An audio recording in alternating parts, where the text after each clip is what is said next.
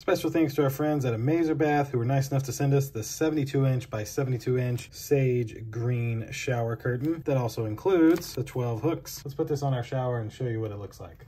And here we are. This is this green ombre shower curtain. I love how it goes from the darker green and then up to the white. These are also amazing. These little balls help it roll along, making a nice smooth slide when you're opening or closing your shower curtain. Thanks again to this company. It was nice enough to send these to me to show you. Thank you all for watching. See you in the next one. Deuces.